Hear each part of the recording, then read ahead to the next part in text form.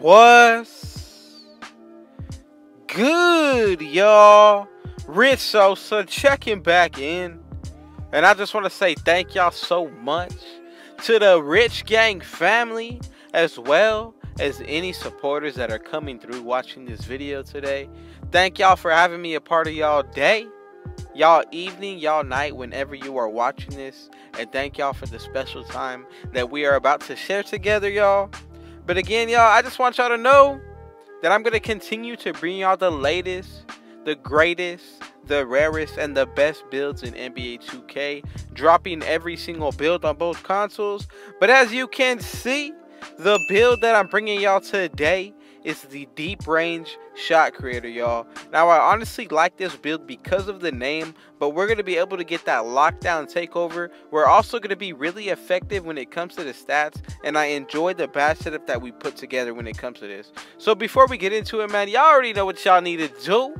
Be sure to hit that sub button if you're new, y'all. To the Rich Gang family and all the supporters, be sure to run up those likes.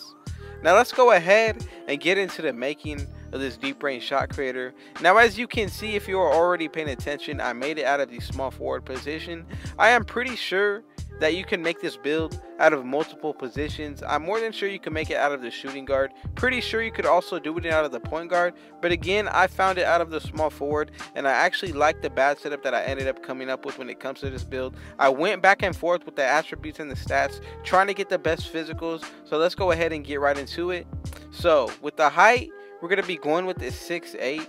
The weight, it's really optional, but I'm going to go with 185. The wingspan we're going to go with as well is going to be 6'8". And when it comes to the body shape, we're going to go with defined, y'all. It's all based on preference when it comes to that. But I personally enjoy this one just because of this specific build. And honestly, it's not going to be a build to where you're going to want to really use it in the paint too often. But again, that's not saying that you can't use it there. I'm just trying to give y'all some suggestions in what I think is best. And honestly, the badge setup that we're going to get with this is really going to make this build so versatile, especially when it comes to things like when we play paint defense or when we get switched onto the center, y'all. So again, keep that into consideration when it comes to making this build.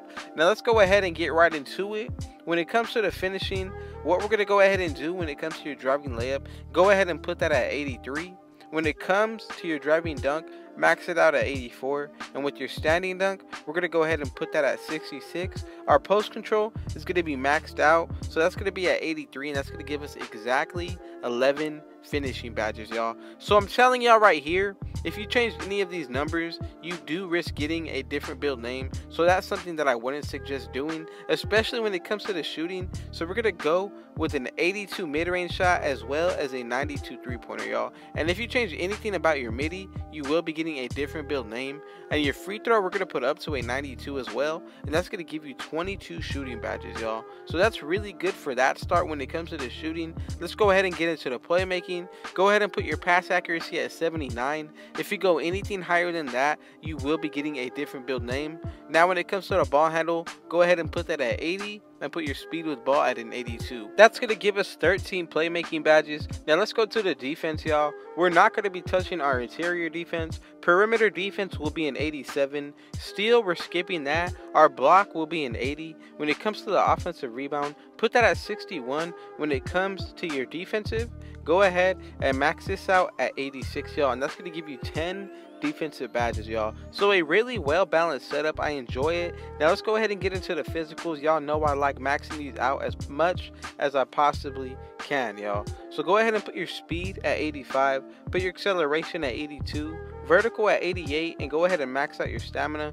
You could put that at 91 or 93, but again, I don't want to risk changing the build name. You could really put these extra attributes towards your defense if you want to, but again, I'm going to leave it at that. Now let's go ahead and check out the takeovers as y'all can see. We get the slashing. We're also going to be able to get the sharpshooting. I like the fact that we're going to be able to get the lockdown takeover for this build. This makes this build so much better, especially when it comes to the defensive side, because we will will need it having 10 defensive badges, which is a good setup, but honestly it just makes it that much better having the takeovers on. Now when it comes to this build, we're also going to be getting post scoring takeover, so that's something to consider if you want to be hitting post scoring shots, y'all. Now from here, I'm going to go with limitless range for my first one. It's really all based on what y'all want to do and your playstyle. You could even pick double lockdown if you want to, but just to help me out more on the defensive side, the second one that I'm going to pick is extreme clamps. Now let's go ahead and check out the build name. And as y'all can see, I am bringing y'all the deep range shot creator. Like I told y'all, I love the comparisons. Brandon Ingram, Kevin Durant, and DeMar DeRozan, y'all. Let's go ahead and check out what this deep range shot creator is going to look like once we hit 99 with it, y'all. So something to consider with this build is always the fact once you max this build out, so our stamina is going to get boosted to 99. When it comes to your vertical, you're going to have a 96 y'all. Acceleration will be 90 and your speed is going to be a 93. Our defensive rebound is going to be boosted to a 90 y'all. When it comes to your offensive rebound, if you add boost, you will be in the 70s y'all. Block will be in the 90s if you add boost as well, and that's going to get boosted at 84 without it. But our perimeter defense is going to get up to 90. Speed with ball will be in 86. Ball handle will be an 84. And when it comes to the free throw, that's going to be 96. Same thing with the three pointer at a 96. Mid range shot is going to be an 86. Post control will be 87. Standing dunk will be 70. We're going to have an 88 driving dunk and an 87 driving layup, y'all. So off the bat, I can easily say that this is one of the better builds that I'm bringing y'all, especially with the fact that it's a rare build and has a really nice badge setup, y'all. So let's go ahead and get right into the first setup. When it comes to the defense, what we're going to hit is going to be Intimidator on gold, y'all. From here, I love the fact that we're also going to be able to get Rim Protector on Hall of Fame, and we're also going to be able to put on clamps on gold as well. Now from here, you could really do anything you want, but again, Chase Down Artist is a really good badge to have on, so if you want to consider that, go ahead and drop Rim Protector from Hall of Fame to gold and go ahead and put it on, or you could leave it on and take off one badge point when it comes to clamps or intimidator just to get that badge on for animations. But again you don't need to do that. How i'm showing y'all here is a perfect way to go as well. Now when it comes to the finishing we're going to go with gold posterizer. From here we're also going to go ahead and put on hall of fame heat seeker y'all that badge is going to boost your takeover really quick. And now the last Hall of Fame badge, you could go with a couple different ones. You could go with Pro Touch, Giant Slayer, Lob City Finisher, or you could go with Fearless Finisher, y'all. You at least want to keep on Lob City Finisher just so you can catch oops at an effective rate and be really efficient with it as well.